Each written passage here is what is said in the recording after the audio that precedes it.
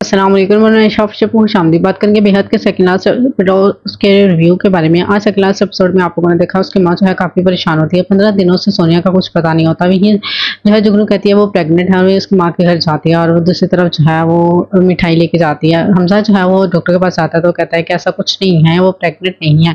तैमूर जो है उसे काफ़ी टॉर्चर करता है और बुरे तरीके से मारता भी है। जुगनू का सच आखिरकार हमजा के सामने आ जाता है और वो उसे कहता है कि नहीं, तुमने कुछ नहीं किया। दूसरी तरफ़ जो है उसके खिलाफ सबूत भी पुलिस के पास पहुँच जाते हैं। Okay तो कहता है कि उसको अच्छी खासी सजा होगी। वहीं जो है वो रिपोर्ट्स करवाई जाती है और तैमूर जो है उसकी माँ से कहती है, तुम वहाँ से निकलो, ये वो।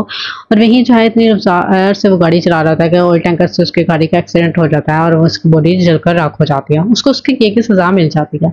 वहीं जो है आने वाले एपिसोड में हम लोग देखेंगे किस तरह जुगनू को जो है उसके किए की सजा मिलने वाली होती है उसे पुलिस जो है गिरफ़्तार करके ले जाती है। हमजा ये सारा मंजर अपनी आँखों से देख रहा होता है। वहीं जो है उसका भाई उसकी जाता है जमानत करवाने के लिए, लेकिन जमानत नहीं हो पाती। हॉस्पिटल में वही हमसा होता है वो देखता है सोनिया को इस हालत में। तो जब पूछता है तो उसकी माँ उसे बताती है कि सब कुछ क्या हुआ सोनिया के साथ।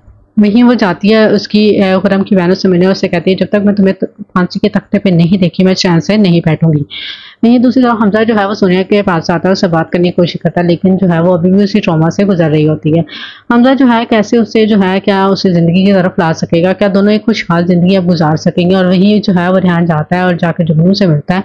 जुगनू काफ़ी रोती है। अब देखने ये आने वाले एपिसोड में क्या होगा क्या जुगनू जो है, अब सारी ज़िंदगी अपनी काटेगी जेल में और उसको होगी मौत की सज़ा।